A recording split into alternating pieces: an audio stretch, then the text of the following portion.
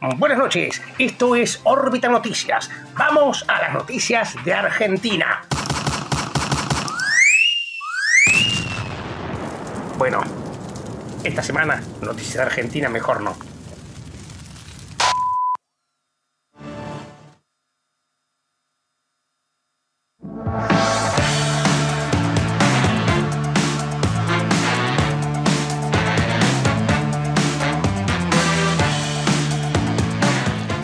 Noches, bienvenidos, bienvenidas, gracias por sintonizar Brotes Verdes como cada martes aquí en la pantalla de C5N.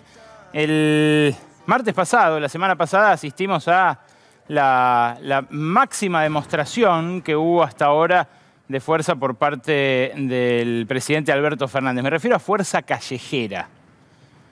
Vimos la marcha del Día de la Militancia con una muy buena afluencia de gremios, afluencia de organizaciones sociales, afluencia de, eh, bueno, eh, quienes apoyan a Alberto Fernández dentro incluso del Frente de Todos. Ahí ven la plaza repleta. Y una pregunta que había quedado flotando desde las elecciones. ¿Qué pasa si no le podemos pagar al Fondo Monetario? Bueno, Hubo quienes analizaron esta plaza de la semana pasada como la plaza de Georgieva, la plaza del Fondo Monetario. Claro, la había convocado Alberto Fernández eh, para demostrar poder en la interna, incluso frente a una Cristina Fernández de Kirchner que se mantuvo en silencio durante todo el tramo final de la campaña, que también se mantuvo en silencio el día de las elecciones y que, bueno, apoya lo que anunció Alberto Fernández al final de ese domingo, pero según Alberto Fernández. Y ahora también según Martín Guzmán, que se lo dijo el viernes a Reinaldo Sitecasa en Radio con Voz.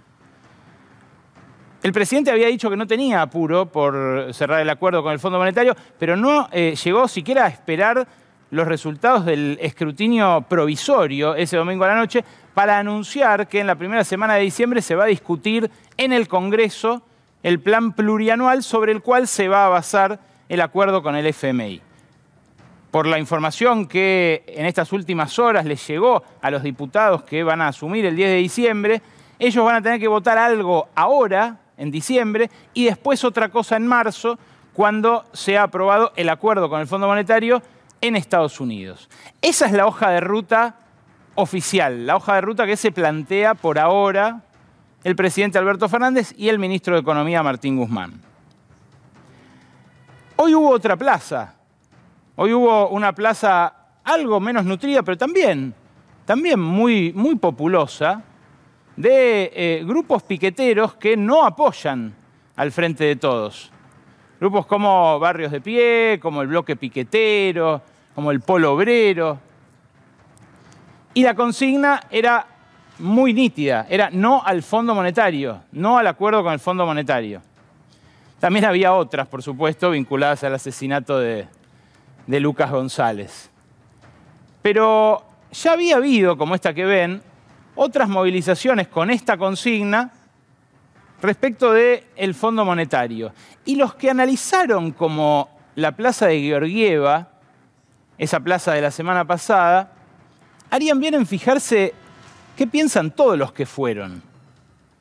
Hubo un empresario, un empresario importante, que el año pasado estuvo incluso con Cristina Fernández de Kirchner reinaugurando las obras que durante el macrismo se habían interrumpido. Un hombre que estuvo preso dos veces ¿eh?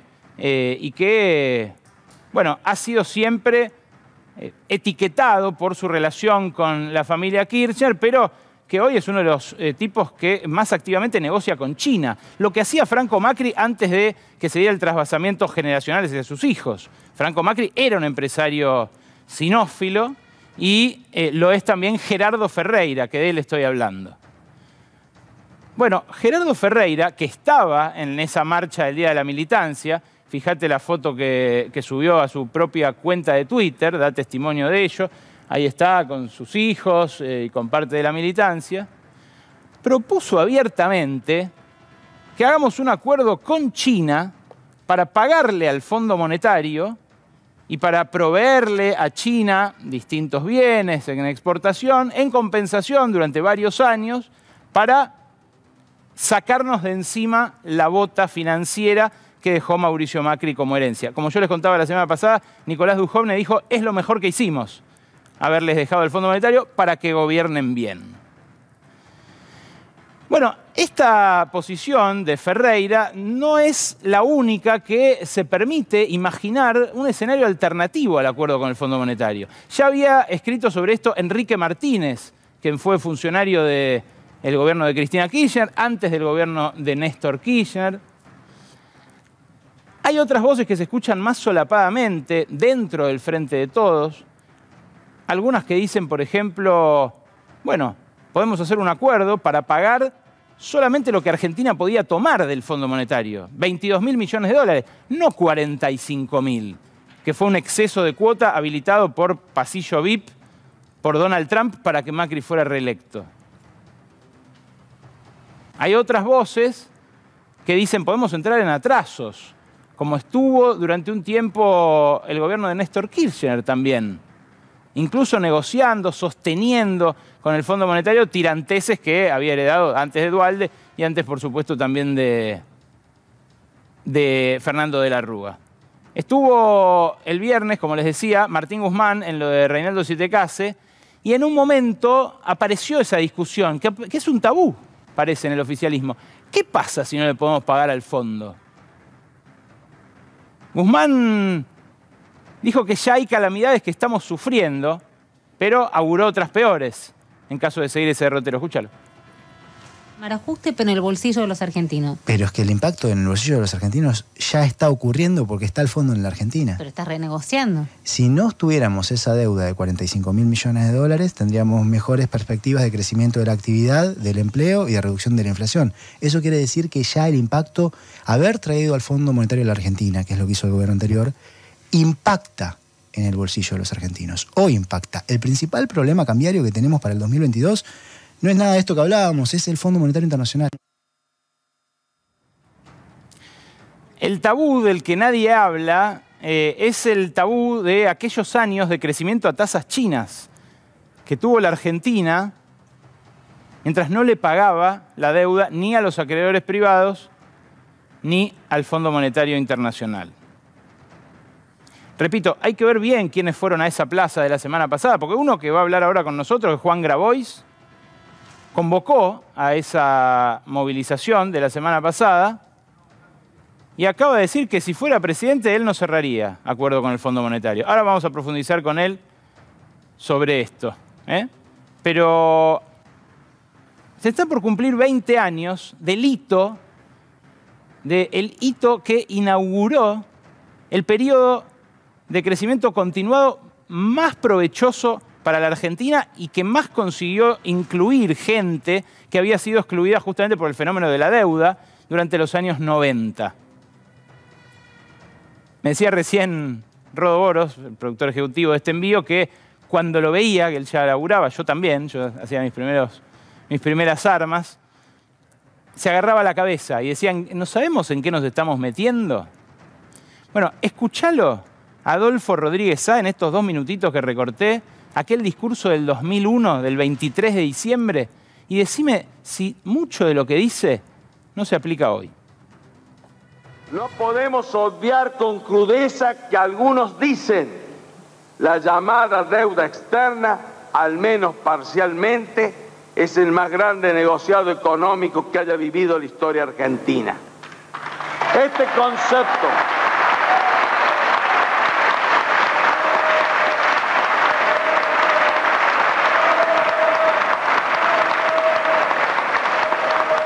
Este concepto se agrava porque su tratamiento siempre se ha realizado en escenarios reducidos, en oficinas a puertas cerradas, con decisores desconocidos y a espalda del interés general. Y lo que es más grave, se ha priorizado el pago de la llamada deuda externa frente a la deuda que este país tiene con sus propios compatriotas. Quiero, quiero ser muy claro. La deuda externa argentina se ha venido pagando sin cumplirse con el requisito constitucional que dice que es atributo del Congreso arreglar el pago de la deuda externa interior y exterior de la nación.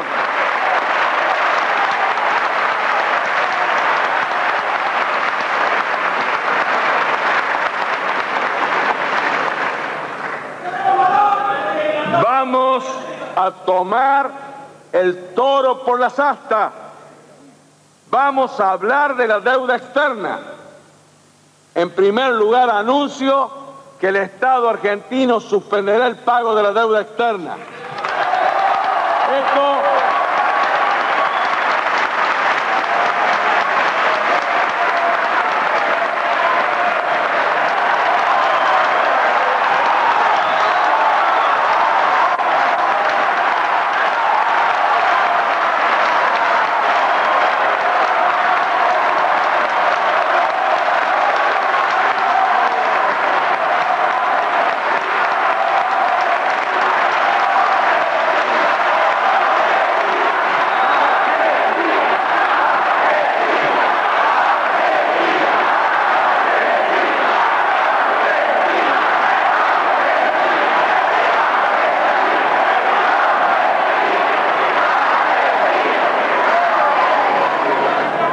No significa el repudio de la deuda externa.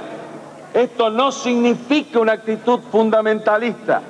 Muy por el contrario, se trata del primer acto de gobierno que tiene carácter racional para darle al tema de la deuda externa el tratamiento correcto.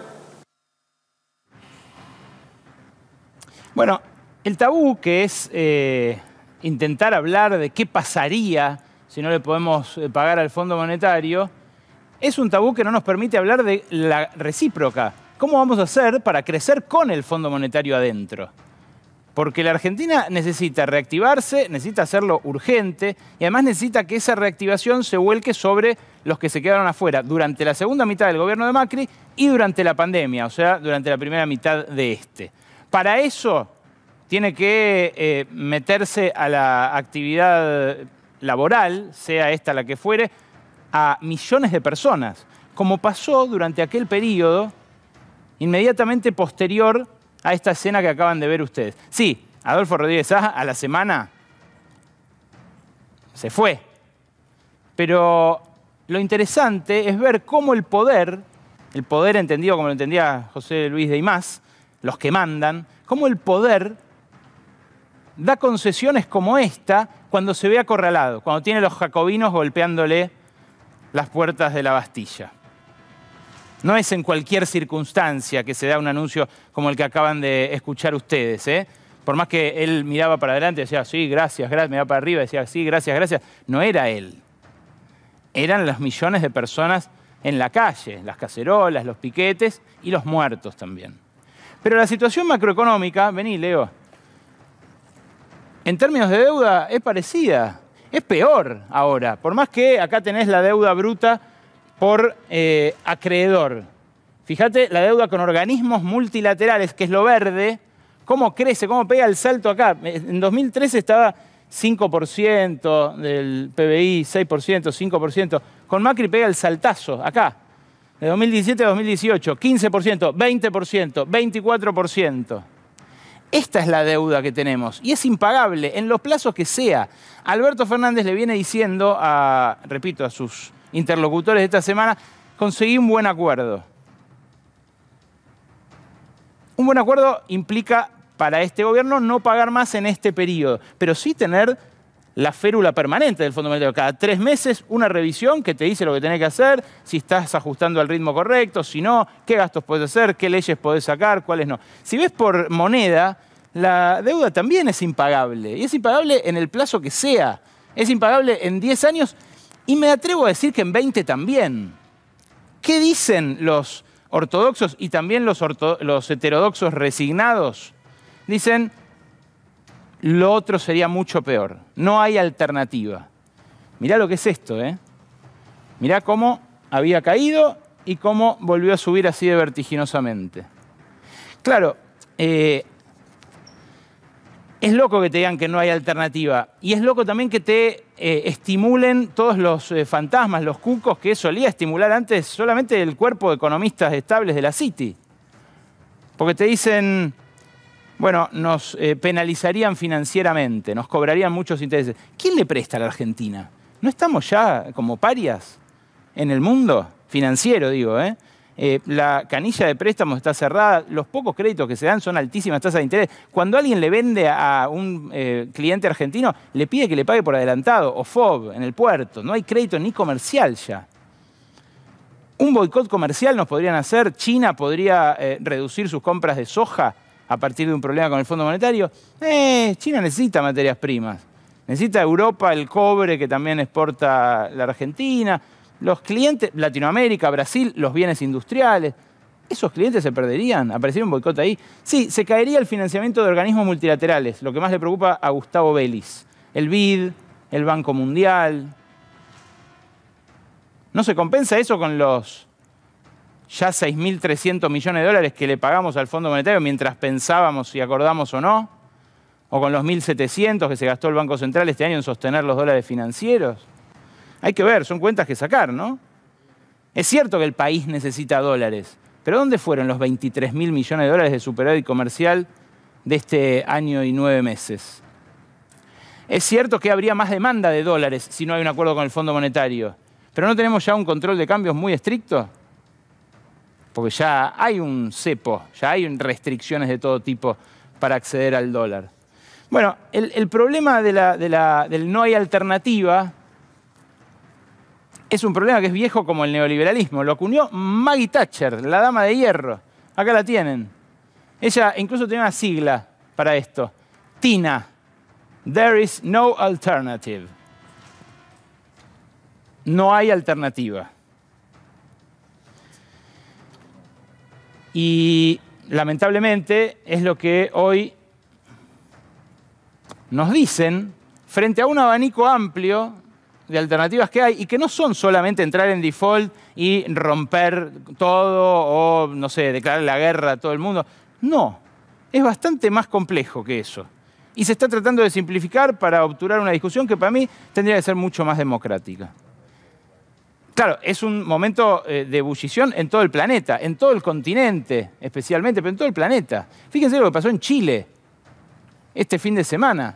El más votado fue un fascista, José Antonio Cast, un hombre que dice que está mal el divorcio, que eh, hay que hacer una, fosa para que no entren inmigrantes bolivianos, eh, que dice que está mal el, control de la natalidad, que, es hijo incluso de refugiados nazis eh, y que no, ha tenido palabras muy, muy críticas respecto de eso. No se le conoce posición respecto de eso. Claro, es la reacción conservadora. Hay otro, otro de los padres fundadores del, neoliberalismo, Nixon, que llamó a una mayoría silenciosa a votarlo. Dijo, todos estos hippies están en contra de la guerra de Vietnam, la mayoría silenciosa me va a apoyar a mí, que soy Estados Unidos y banco seguir en la guerra. En Chile hubo interpretaciones parecidas. Hubo millones de personas en las calles, una revolución triunfante prácticamente que puso en marcha un proceso constituyente, cientos de muertos, represión, resistencia, y al final votan a un Milei trasandino. ¿Cómo? Bueno, una interpretación es esa, que la mayoría silenciosa siempre es conservadora, que siempre busca el orden, correr, digamos, esa, esa imaginación al poder que propone por lo general el pueblo cuando sale a la calle. Pero la otra es que las insatisfacciones son tan profundas que se busca soluciones fuera de lo habitual, fuera de la caja. A lo que se expone el frente de todos, y a eso voy, y eso vamos a hablar con Juan Grabois, es a agotar la expectativa que generó y dejarle el campo orégano, no ya al macrismo, sino a una reacción mucho más violenta. Una reacción apañada y apadrinada por los dueños de todo, los que fueron socios del proceso de endeudamiento con el Fondo Monetario y los que ya empezaron a ver con buenos ojos el ajuste de este año. Ahí tenés cómo evolucionaron los ingresos totales de la Administración Central y los gastos. Ahí tenés, eh, mm, en términos reales, eh, lo mostramos la semana pasada, en términos reales, mes por mes, cuánto aumentaron los ingresos totales y los gastos totales. En términos reales, descontada la inflación, fíjate vos cómo se amplió esa brecha. Eso es lo que recuperó el Estado de ahorro, digamos, o sea, lo que desanduvo del el gasto que había hecho el año pasado para paliar los efectos de la pandemia. Ahí está el IFE que no se siguió pagando, ahí está el ajuste de las jubilaciones, ahí está el ajuste de los salarios, el ajuste que dicen que no ocurrió. Porque hay una, también una, una retórica extraña en creer que va a haber crecimiento y que de esa manera se va a reducir el déficit, pero no computar lo que ya ocurrió este año, cuando no hubo crecimiento. Lo único que hubo fue rebote del año pasado. Los socios locales del Fondo Monetario son los que también se relamen ante la perspectiva de un acuerdo, pero los hay a ambos lados de la grieta. Hoy trascendió en medios empresarios que Paolo Roca quiere hacer el gasoducto que sale de Vaca Muerta para exportar el gas hacia Brasil y Bolivia y que a cambio ofrece levantar el juicio por la resolución 46, el juicio que le empezó a hacer al Estado por el mega subsidio millonario que Duhovne empezó a pagar en su momento para que haga shale gas en Vaca Muerta y que después le quitó por presión del Fondo Monetario, porque le dijo, no te la puedes seguir gastando en, subsidiar a este señor, a este varón del acero. Bueno, Pablo Roca la semana pasada dijo esto que vas a ver ahora, una cosa realmente llamativa para alguien que tiene la piedra basal de su empresa en una privatizada, en Somisa. No podemos seguir con países donde se aumenta el rol del Estado para sostener a una parte de la población que tiene empleo informal o no tiene empleo. La empresa privada es la que construye cadenas de valor. Si nosotros no logramos cambiar esto en 10 años, los países de América Latina van a ser ingobernables, van a tener un problema enorme de falta de productividad, falta de educación y primarización. Bueno, lo del rol del Estado y la empresa privada, como les dije, eh, es notable, siendo eh, Techin la empresa madre de Ternium Siderar, que era Somisa, ¿no? Lo recuerdan justamente de los 90, Ramallo y otras, otras grandes luchas que hubo por eh, esa acelera de bandera. Pero del otro lado de la grieta, y mezclados, porque algunos están de un lado y del otro, hay un montón de empresarios que también compraron los dólares baratos que trajo el Fondo Monetario en ese acuerdo con Macri y que ahora nosotros tenemos que devolver caros con el esfuerzo de toda la población.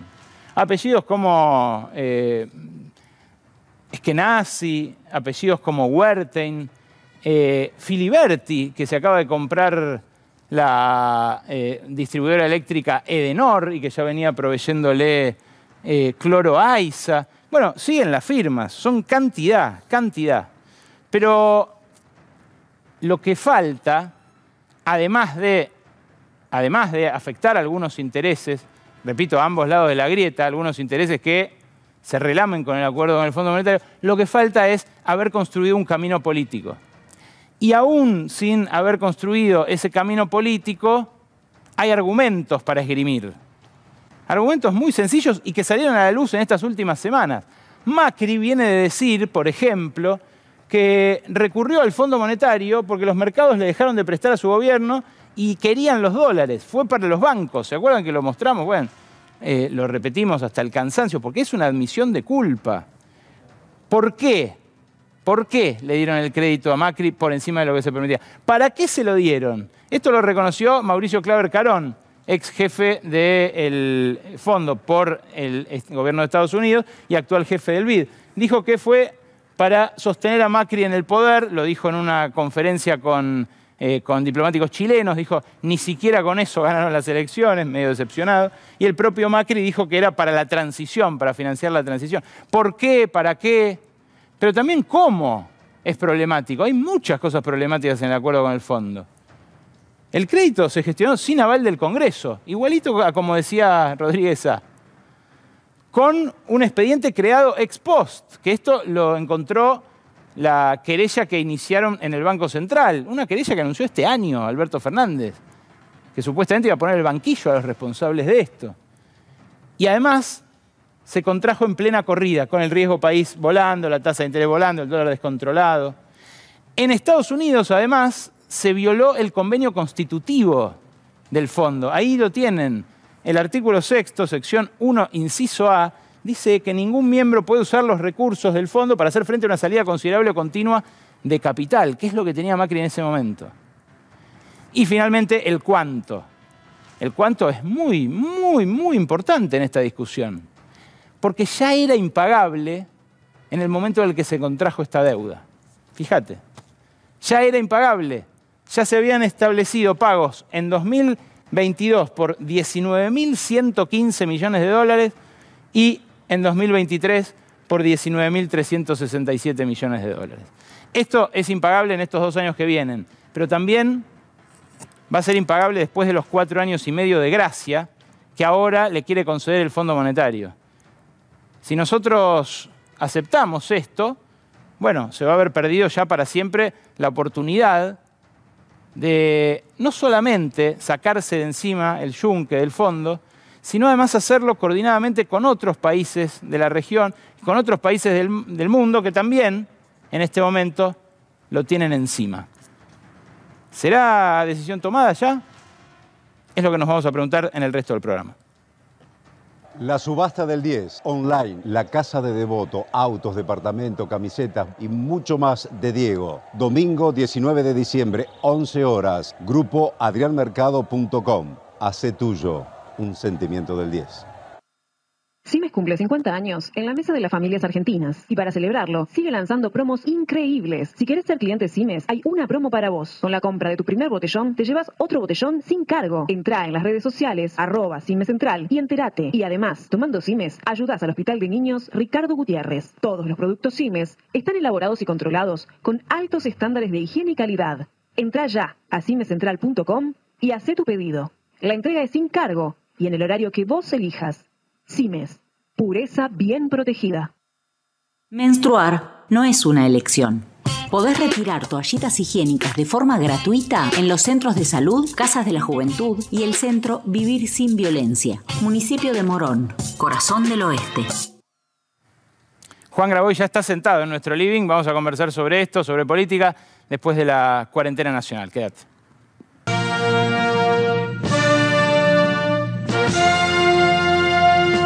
¿Viste? Tremenda grieta en Chile. No me digas que hubo otro terremoto. No, no. Grieta por las elecciones. Ah, ¿y quién ganó? Deja, no me respondas, porque seguro me vas a decir que ganaste vos. no, no. Ganó la ultraderecha. Antonio Cast. ¿Y qué tal es? De ser presidente rompería relaciones con Cuba y con Venezuela. Expulsaría a sus embajadores. Y con China, ¿por qué no? Por razones económicas solamente, porque pasa lo mismo, es una dictadura, de lo mismo. ¿Por qué Sí. no con China? Eh, porque es complejo el tema Ya, o, sea, económico. o sea, los principios ahí se van al carajo. Ah, es de derecha pero no boludo. Y no, esos los tenemos todos acá. ¿Qué relación tiene que tener, en su opinión, Argentina con Cuba y Venezuela? Condenar. ¿Y con China? Yo no haría negocios con China. Si rompemos relaciones con China, sería una tragedia macroeconómica, Javier. No, es falso que sería una tragedia macroeconómica. Podríamos tra- hacer transacciones con, con el lado civilizado de la vida. Yo no puedo creerlo.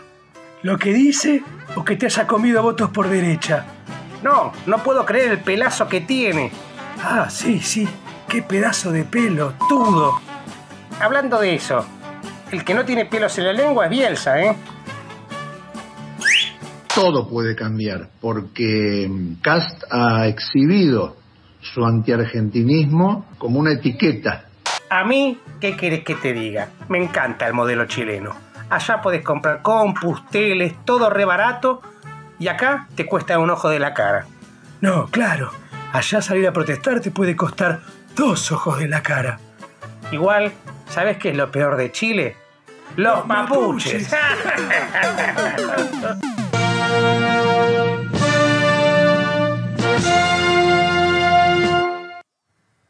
Buenas noches, Juan. Gracias por venir a Brotes Verdes.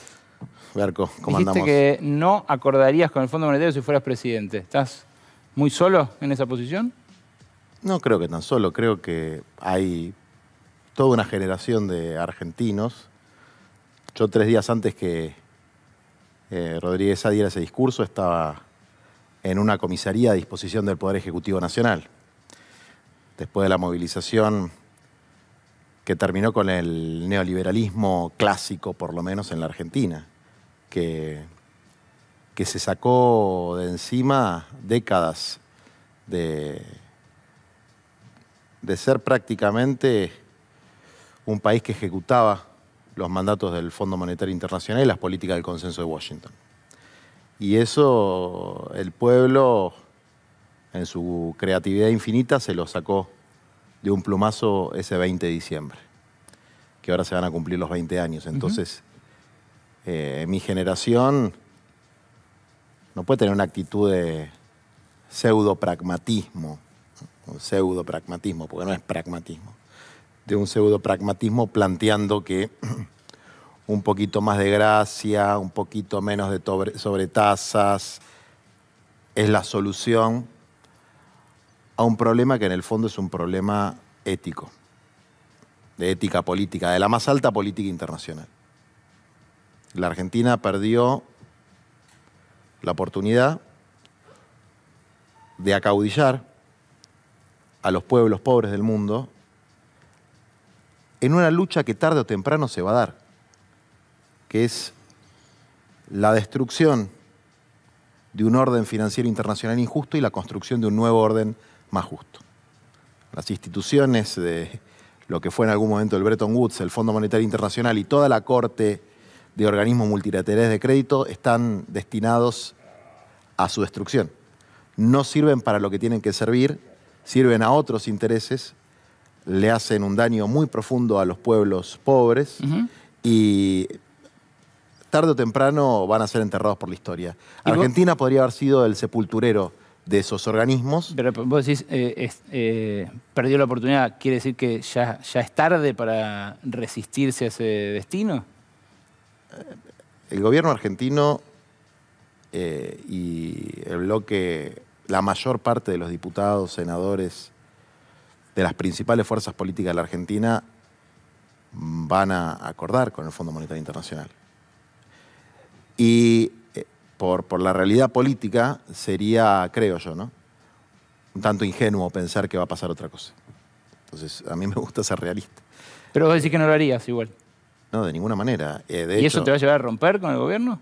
No, nosotros tenemos una pequeña fuerza parlamentaria que va a plantear eh, una pequeña negociación. Es decir, que frente a un plan plurianual de garantías para el Fondo Monetario Internacional, tiene que haber un plan plurianual de garantías para el pueblo pobre de la Argentina, que incluya, por ejemplo, el salario básico universal para 9 millones de argentinos que no tienen ingresos regulares eh, para sostener una vida pero Juan eh, que supera la indigencia. eso, está en contra, eso está abiertamente en contra de lo que el Fondo Monetario le receta a todos los países que refinancian. Entonces nosotros no votaremos el acuerdo. Eh, no, en este caso, no, no, seremos, no cumpliremos con la disciplina de bloque. Y suponete que haga lo mismo, mm, no sé, eh, Juan Carlos Alderete, otro protagonista de 2001. Ojalá que lo haga. Eh, que también es parte del Frente de Todos y que termine siendo aprobado el acuerdo por mayoritariamente diputados de la derecha. Del es una posibilidad. ¿Cómo queda plantado frente a su electorado, frente a la gente, frente al país, frente al mundo, el Frente de Todos? Mira, el Frente de Todos es una coalición muy heterogénea que se conformó con un objetivo fundamental, que era sacar el macrismo. Eh, había una expectativa en el contrato electoral de 2019 que se puede realizar en mayor o menor medida, pero nadie votó eh, la toma de la Bastilla a Berco. Eso sería engañarnos a nosotros mismos. Sí, yo quiero recordar que en el 2018, cuando a pocos días de que Macri anunciara el acuerdo, el acuerdo yo redacté, me ayudó Kichilov, una carta que presentamos a las autoridades del fondo, donde planteamos que un nuevo gobierno podía considerar la deuda como deuda odiosa en los términos de la jurisprudencia internacional. Lo recuerdo. por haber sido, bueno, muchas de las características que vos mencionabas en tu introducción, ¿no? Un contrato de cumplimiento imposible por estas cuotas, por haber sido por fuera de los canales institucionales que la Constitución argentina establecía, por haber sido, bueno, eso fue firmado por un montón de diputados que ahora están en el Congreso Nacional. Eh, planteamos la corresponsabilidad del Fondo Monetario Internacional, planteamos un montón de los argumentos eh, que son argumentos de, de, una lógica elemental, ¿no? Mm. Eh, por los cuales nosotros, por lo menos en el Frente Patria Grande, como parte de una generación que luchó en el 2001 contra el Fondo Monetario Internacional, no podemos tener una mirada de no hay otra alternativa. Pues nosotros luchamos por una alternativa cuando nos decían que no había otra alternativa y esa alternativa apareció. Y ni siquiera estábamos conformes con esa alternativa. Por nosotros no fuimos parte del proceso kirchnerista. Decíamos, esto es demasiado poco, no nos vamos a conformar con menos hoy. Mm. Ahora bien, ¿qué pasa después? Espera, va a hablar de esto Lucía Isikov. Quiero eh, que después discutamos, después de lo que va a comentar ella, qué pasa después, porque precisamente de eso se trata. Lu, buenas noches, ¿cómo estás? Buenas noches, Ale, ¿qué tal? ¿Alguien está pensando en 2022? Te dejo primero esta pregunta, porque sabemos que tanto la oposición como el gobierno está pensando distintas estrategias para llegar competitivos a 2023. Pero ¿qué pasa en el medio? Bueno, hoy por hoy la conversación, buena parte de la conversación política del Frente de Todos pasa por cómo se puede hacer para eh, llegar bien, llegar unidos al 2023. Y una de las formas que encuentran, ahora lo vas a ver a mis espaldas, pero una de las formas que encuentran es, habrán escuchado hablar de la institucionalización del Frente de Todos. Una paso. Una Sí, gigantesca Bueno, paso. implica distintas cosas, que porque en realidad no, no está del todo claro. Lo escuchamos al presidente decirlo por primera vez en el acto de la militancia, en el 17 de noviembre, ya se venía hablando en el kirchnerismo la necesidad de institucionalizar. ¿En qué piensa Alberto Fernández? Bueno, sus funcionarios, desde el gobierno, dejan trascender que están pensando en una especie de frente amplio uruguayo. Eso es lo que tienen en la cabeza. Y una de las patas de institucionalizar al frente de todos tiene que ver eh, con justamente crear una especie de mesa donde estén representados todos los sectores. Hasta ahí suena lógico. Ahora ya ahí empiezan las dudas. ¿Quiénes son todos los sectores? ¿Son el kirchnerismo, el masismo y el albertismo o los funcionarios que representan a Alberto Fernández? ¿O juegan todos? Juegan todos también los movimientos sociales eh, cercanos al gobierno, la corriente sindical también cercana al gobierno va a formar parte de esa mesa. ¿Qué pasa con los intendentes? ¿Qué pasa con los gobernadores? ¿Cuándo se va a generar esa mesa? Bueno, no está claro, no hay respuestas claras en el frente de todos y tampoco hay posiciones del todo claras, porque si vos le preguntas, eh, bueno, a- a- en Casa Rosada, claramente quieren esta mesa y que jueguen todos. Ahora, lo preguntas a Cristina Kirchner y la respuesta que te dan es, cualquier herramienta que sirva para fortalecer nuestra fuerza política está bien. Pero no hablan en particular de esta mesa en la que está pensando el albertismo. El masismo dice, bueno, sí, adelante. Y después tenés otros eh, representantes también cercanos al gobierno, como Daer, que en los últimos días dijo, bueno, está bien, es una estrategia válida, pero estamos en un sistema presidencialista. La última palabra la tiene el presidente. El peronismo no es una, una cosa asamblearia donde todos van a empezar a opinar. Bueno, suena también la idea de la mesa bastante contradictoria con el verticalismo de un gobierno que intenta hacerlo, pero es una forma de solucionar la toma de decisiones tan compleja en esta coalición. Así que una de las patas es la mesa. Y después te voy con la segunda pata, que es lo que vos mencionabas, donde también juegan todos. Y esto sí tiene más consenso porque esto es la idea original de Cristina Kirchner y ella lo viene diciendo, lo- lo- ella lo trae al debate y Alberto Fernández lo, marca eh, también en el Día de la Militancia, la posibilidad de una paso, de una primaria en todas las categorías o en todas las categorías que lo requieran para eh, 2023.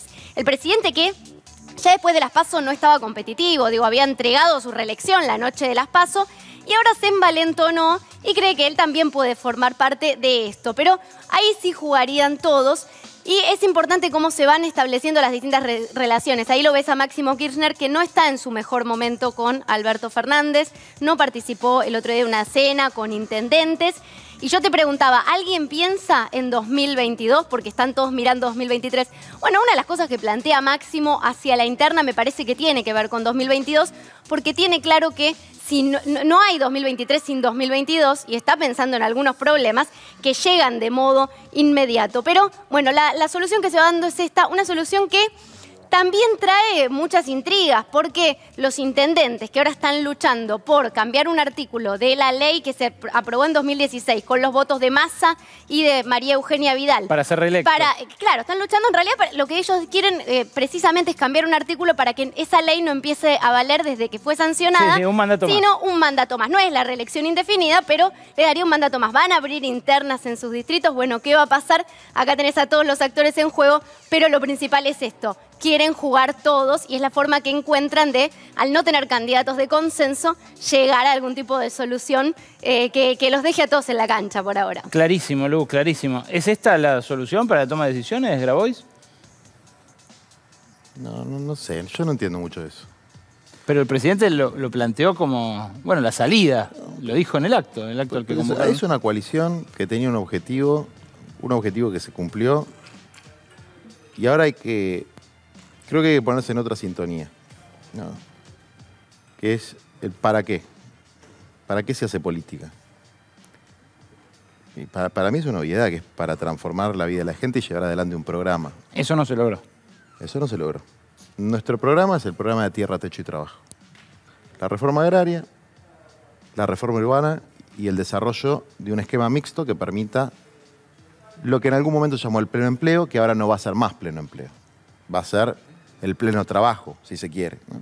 Algunos serán empleados en el sector privado, otros en el sector público y otros en la economía popular.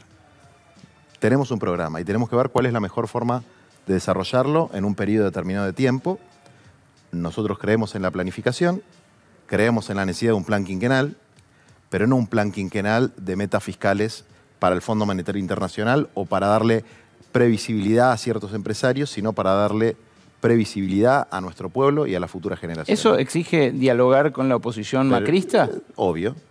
Porque es lo que se había planteado al frente de todos eh, antes de las elecciones, como, bueno, vamos a llamar una mesa de diálogo, Sí, consenso. Pero eh, todo eso hay que hacerlo sobre la base de un programa eh, que tenga. Si vos ves eh, lo que plantea Xi Jinping en sus discursos de horas, ¿no? Sí. Te dice cuántas toneladas de acero van a hacer, cuántas casas van a hacer en cada región, en cada provincia. Es decir, te puede gustar más o menos el régimen chino, pero te explican lo que van a hacer.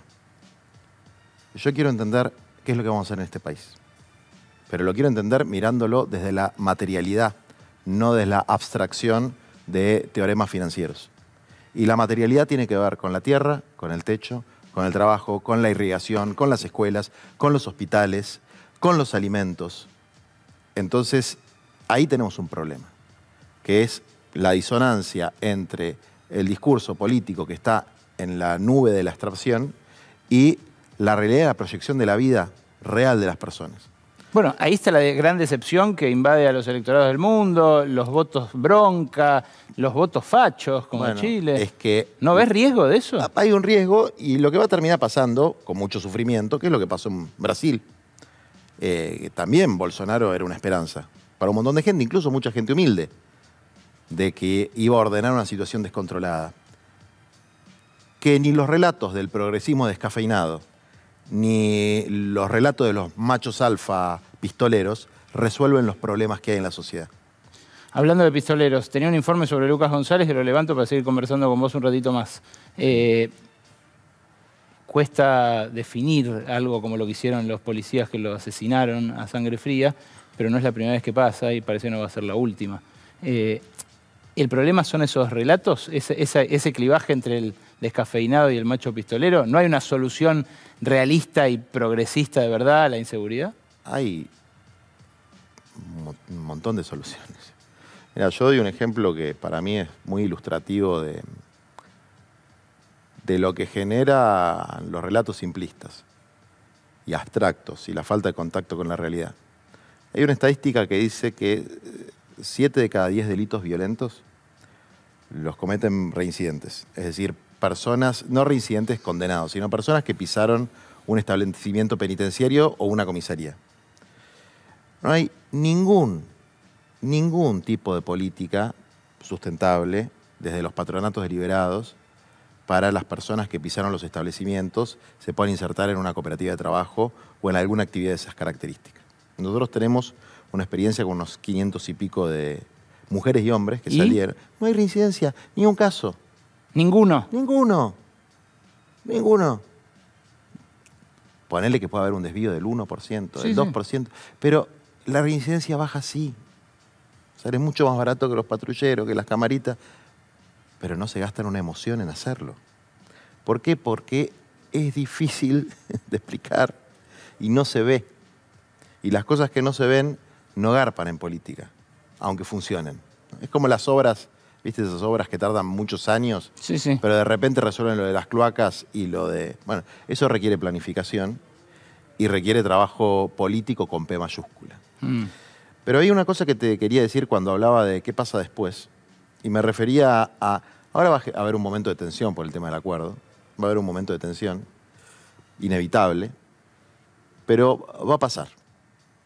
Y va a volver a explotar dentro de 3, 4, 5 años. Claro, cuando haya que pagar 12 mil, Pues, 15 mil luego. millones de dólares que Argentina no tiene Hay no que va a ver tener. cuál será el plazo de gracia que se negocia y cuando termine el plazo de gracia va a volver a quilombo. No hay ninguna posibilidad que no pase. Es que es increíble que vendan eso como algo pragmático. Digamos, Bueno, cuando uno habla, de- dice, no, lo realista es esto, firmar algo que no vamos a cumplir. Después le decimos, Bueno, por eso. Es, será pragmático para el, corto, el cortísimo plazo, vamos a decir. ¿no? Y, y hay que ver. Pero, qué sé yo, no sé. La verdad, tampoco tengo la verdad revelada. Eh, la gente ha sufrido mucho los últimos dos años. Lo que nosotros vamos a plantear con nuestro realismo y nuestro pragmatismo 2000 UNESCO es, todo bien, nuestra pequeña fuerza vota si hay un plan plurianual para que haya salario universal para los pobres. Eh, hay un señor que se llama Mayans, no sé si lo tenés. José Mayans, senador. Yo no lo conozco, creo que nunca hablé con él.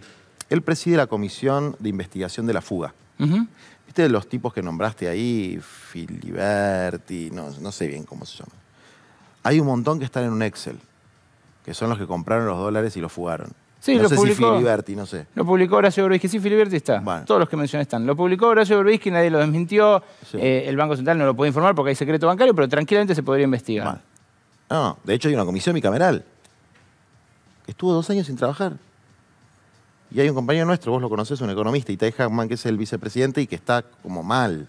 Quiere renunciar a la comisión porque no puede trabajar.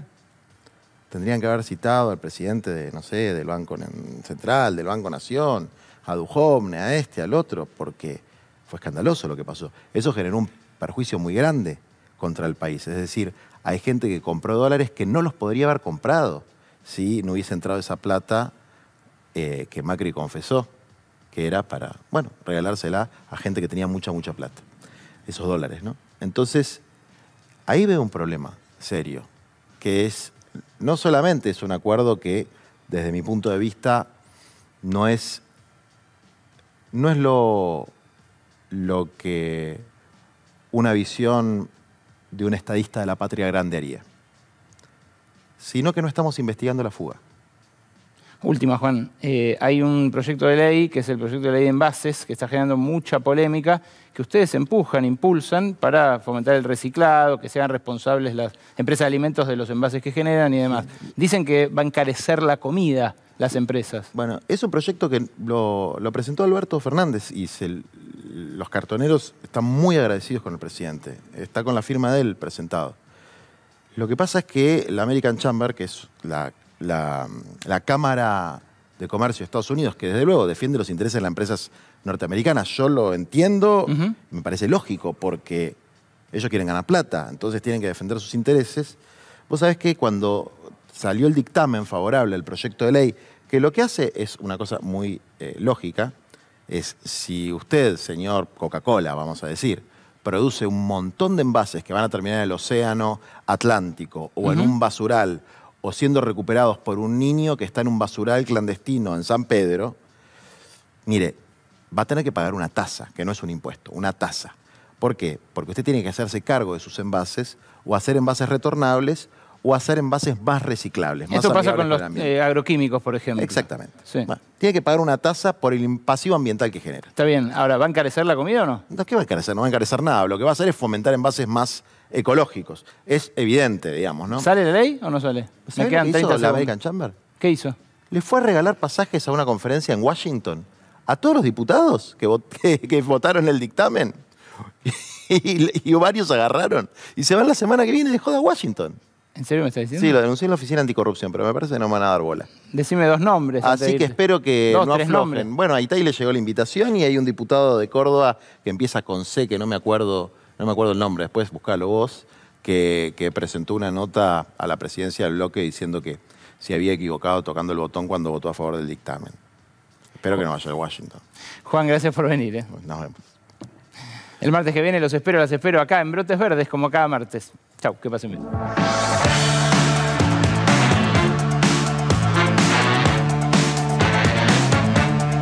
¿Querés saber cómo ver o cómo hacer para comprar en la subasta del 10?